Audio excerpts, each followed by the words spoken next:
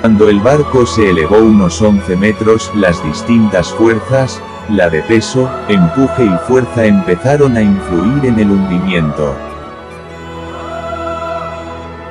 Como la fuerza de empuje y la de peso eran contrarias, el barco empezó a romperse, lo que hizo que más agua entre y aceleró el hundimiento. Cuando esto sucedió, la fuerza de peso fue más fuerte que la normal y la de empuje, provocando una grieta y partiendo al buque.